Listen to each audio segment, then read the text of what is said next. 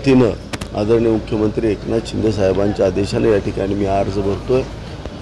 अर्ज भरलेला आहे जनतेच्या आशीर्वादानं आज तुम्ही पाहताय संपूर्ण मतदारसंघामध्ये प्रचंड उल्हासाचं आणि उत्साहाचं वातावरण आहे. सामान्य जनता रस्त्यावरती येताना आपल्याला दिसते अशा उल्हासित वातावरणामध्ये भूमिपुत्रांचा यलगार आज तुम्हाला पाहायला मिळेल. इथं कुठलं एम एस त्रेचाळीस आणि बेचाळीस नाही तर पूर्णपणे ताकदीनं इथले भूमिपुत्र आज हा लढा देतात.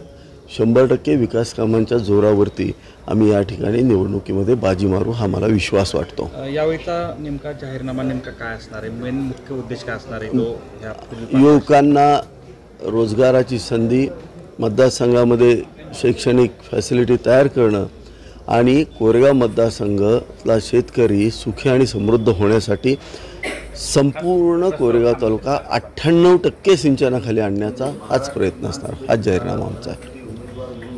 Okay thank you